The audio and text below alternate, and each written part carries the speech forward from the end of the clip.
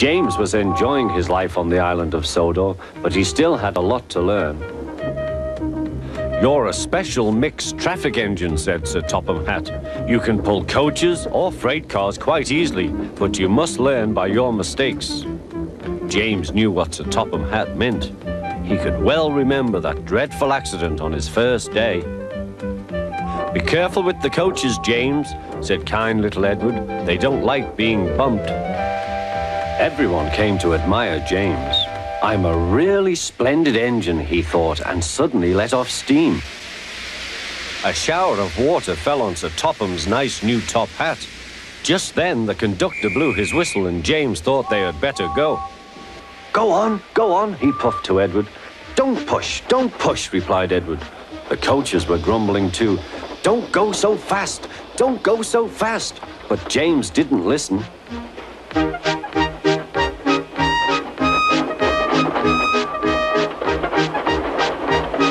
When at last they stopped at the next station, two coaches were beyond the platform. They had to go back to let the passengers out. But no one seemed to know about Sir Topham's new hat, so James felt happier. Presently, they came to the station where Thomas was waiting with his two coaches.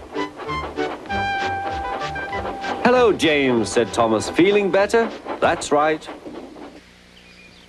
Oh, that's my conductor's whistle. I must go. I don't know what Sir Topham Hatt would do without me to run this branch line.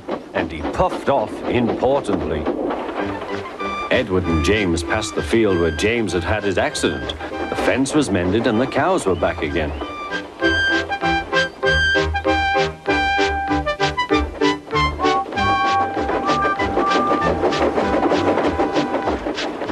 They ended their journey and rested before setting off for home.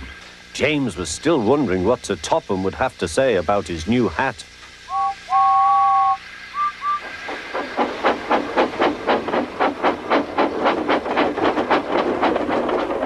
Next morning, he spoke severely to James. If you can't behave, I shall take away your red coat and have you painted blue. James didn't like that at all.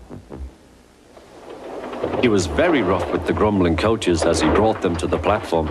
Don't talk, come on, he called to them. Gordon never has to fetch his own coaches, he thought to himself, and he's only painted blue. To make James even more cross, this time no one came near him.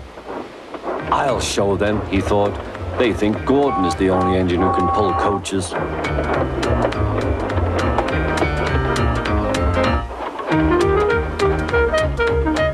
Hurry, hurry, puffed James. You're going too fast, you're going too fast, replied the coaches. James laughed and tried to go faster, but the coaches wouldn't let him. We're going to stop, they said. We're going to stop.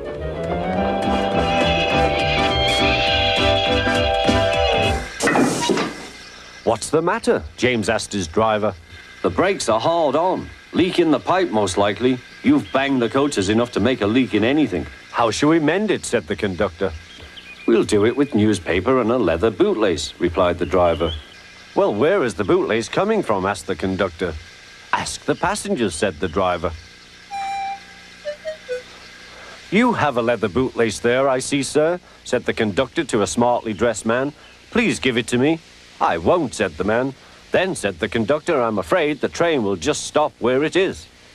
The passengers all said what a bad railway it was. Then they told the man how bad he was instead. Everyone was very cross. At last, he handed his laces over.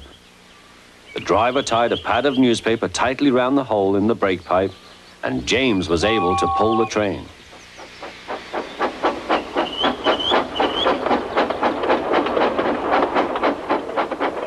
But he was a sadder and wiser James and took care never to bump coaches again.